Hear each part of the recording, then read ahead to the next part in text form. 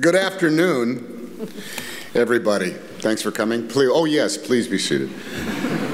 Yes, good afternoon. You know, um, I think I speak for everyone in the room when I say that when Senator Elizabeth Dole calls, you pick up, you answer. Her, um, her invitation to come listen to her uh, speak one day at a hotel in, out in Santa Monica had me uh, sitting and, uh, and listening to her firsthand accounts of the quite tremendous and the ever constant challenges that are facing military caregivers. And by military caregivers, we're not talking about healthcare professionals, we're not talking about educated experts, we're talking about wives and family members and girlfriends and kids and parents. Those are the military caregivers. People are giving care to their merit military loved ones. We're talking about them and the lack of resources that are available to them. And what the senator said to me would inspire anyone to have joined her cause. She is, in two words, pretty convincing. and it is hard to say anything to her other than, Senator, what do you need from me? So, Senator, it is a great honor to be a chair of the Hidden Heroes campaign, and I always speak for everyone here in the room and beyond when I say that your, your tireless work and the heavy lifting you have done and your heads up in commanding leadership on behalf of those military caregivers is an inspiration to us all.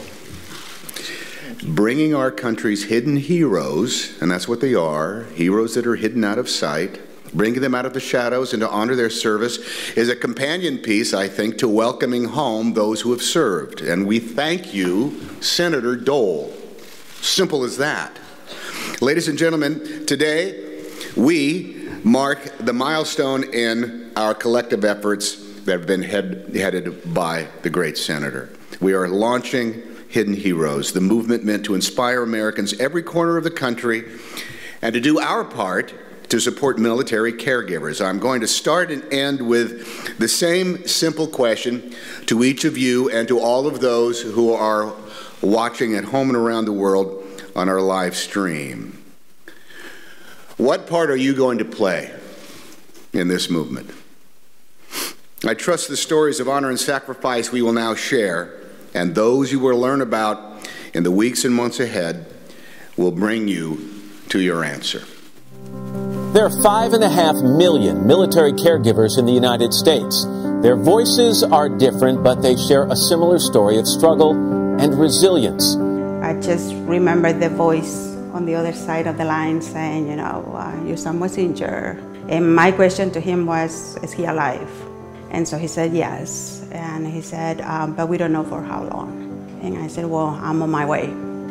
People from the very get-go could see that he was different coming back from Afghanistan.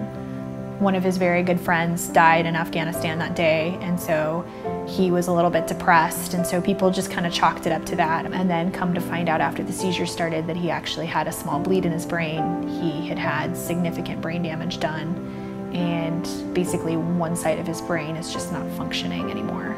I met Miss Kim after she was discharged about three years. Miss Kim suffers from service-connected post-traumatic stress, major anxiety, and major depression.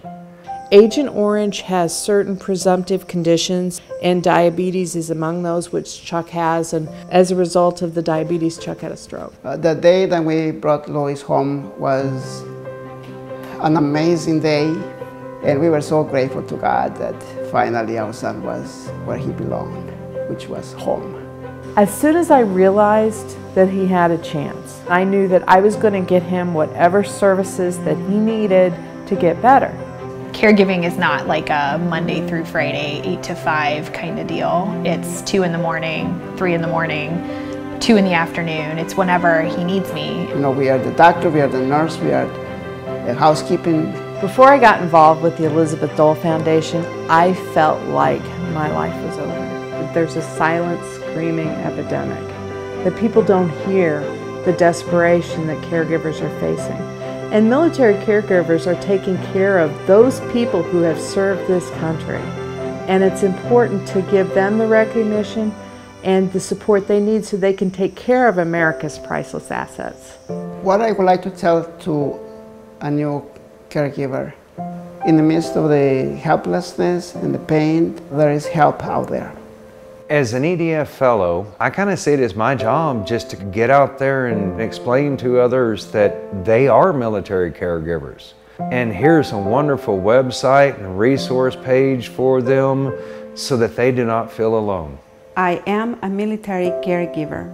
I am a military caregiver. I am a military caregiver. I am a hidden hero.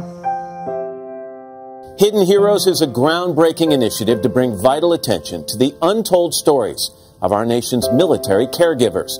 Learn how you can help military caregivers like Helen, Sonia, Julio, Don, and Jenny at hiddenheroes.org.